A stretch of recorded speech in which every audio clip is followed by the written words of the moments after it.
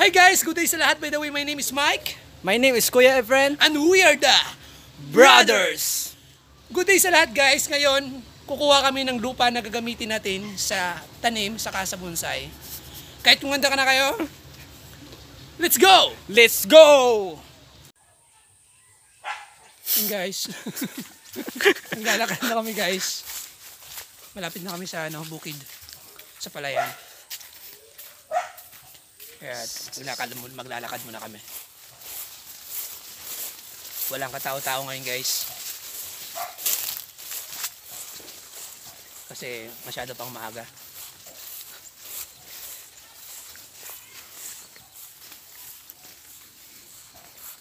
Yay. Saka halos ubos na rin yung kalayan dito sa amin guys. Kasi yan nyo guys, halos wala na. Kaya malapit na yung tagutom.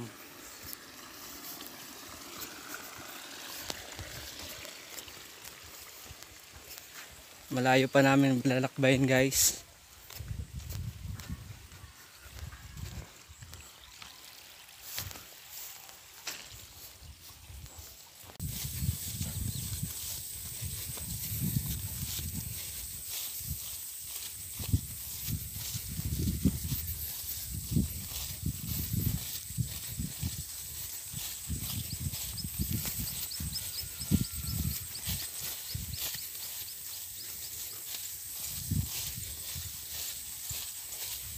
Yun guys, doon kami galing kanina. Doon kami galing kanina. Dito na kami guys. So, nadalos nandito na kami sa gitna ng kapalayan. Kasi nga, ayun, layo pa. Ang bundok na yun guys is kabilang barangay na yun.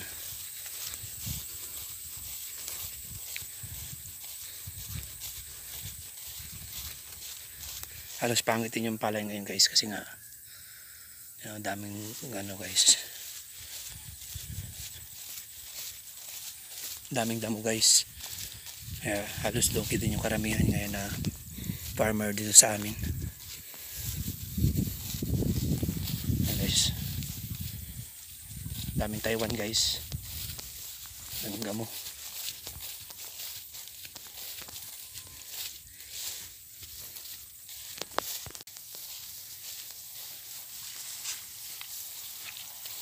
By the way guys, ito pala, palayan pala namin to guys. Ito, ito guys, yung palayan namin. Hanggang sa taas siya guys. Ah, guys, dami din siyang gam, ano guys. Dami din gamo guys. Nasa 8,000 na rin yung ginastos namin dito guys. Ito guys. Kaya sana makabalik siya kahit puunan na siya guys. Kasi mahirap talaga yung pangunguma ngayon guys kasi nga inutangan pa namin yung guys yung ginastos namin dito. Kaya sa awa ng Diyos is okay naman siya. Pero nga lang meron pa konti-konting madaming gam maraming ano talaga guys. Gamo guys. Ito guys hanggang sa taas to guys. Verde pa siya guys. Kaya kailangan pa ulit namin bumbahan para sa mga insekto guys.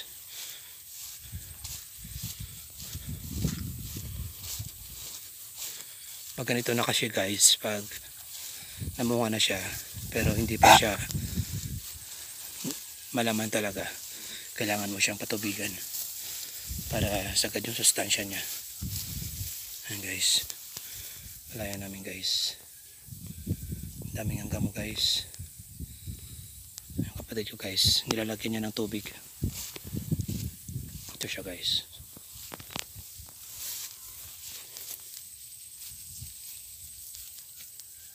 Halos yung gitna lang yung maganda-ganda guys. Tapos yung baba is sa kataas is maraming gamo. Maraming damo guys. Angelo! Yun guys yung aso namin guys. Ito siya sa palayan namin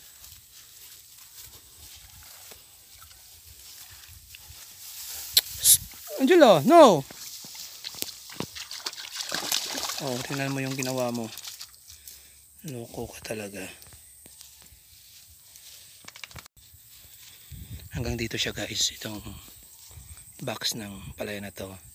Ito yung pinakalas. Kasi nasa ano siya guys. Apat na square na box siya guys. Tingnan mo guys. Sobrang dami talaga ng damo guys. Kaya nga. Nadadasal talaga kami na kahit balik puhunan lang. Kahit balik taya lang talaga guys. Kasi nasa 8,000 na rin yung ginastos namin guys.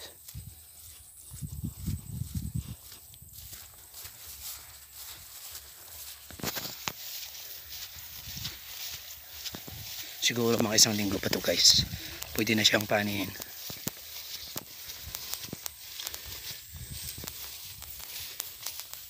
Yun guys, sobrang layo na namin guys. Kasi doon kami galing kanina. So dito na kami. Brother ko.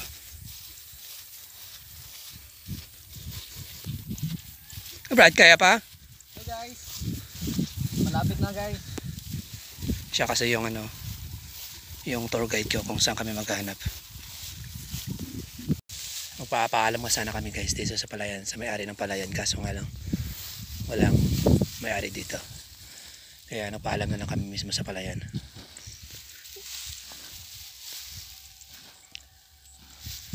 Yun guys, doon kami galing kanina. Naabot kami dito. So, yan o yung kabilang barangay na yun guys. Itong ano na to guys is kabilang barangay na rin to. Ayun, kabilang barangay din. Kasi ikot kasi yung barangay namin guys. Bitna is palayan.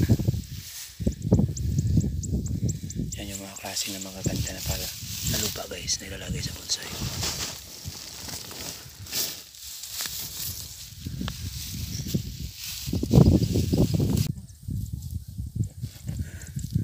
Yun guys. Mabilis talaga yung brother ko maglagay ng lupa sa sako guys. Hello guys. Buligi. Buligi ko brad. Na, natutanaw. Ano ako. Brother. Napapatulong siya guys. Nagbuyot ka. Cellphone karon na. Eh, na no, aro. Guys, tulungan. Hindi ko tulungan ko siya guys kasi wala na mag-video guys. Yan guys, mga klase ng lupa guys. Yan guys, nakadalawang sako na kami. Tingnan nyo guys, parang walang nangyari. Parang hindi siya nakuhaan. Guys.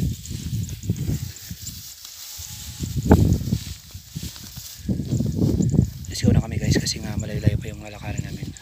Hanggang doon pa kami guys. Mga kalating oras pa siguro guys. Guys, maglalakad na kami. Ikaw brad, ano masasabi mo? Pagod na siya guys. Ano masasabi mo? Work naman guys. Sulit. Ayos para sa tanim to para makabunga naman yung mga pananim namin sa bukid namin sa palayan sa kabila. Worth. Yun guys, that's all guys. Siguro hanggang dito na lang. Salamat sa mga nanonood. Kaya kung kayo mahilig kayo sa tanim, suppose kung kailangan nyo ng lupa na maganda, na quality, yun yung isa sa mga pinakamagandang material guys. Ito guys, mga pagbubonsai. That's all guys. Have a great day sa lahat and don't forget to subscribe. Thank you and God bless. Bye!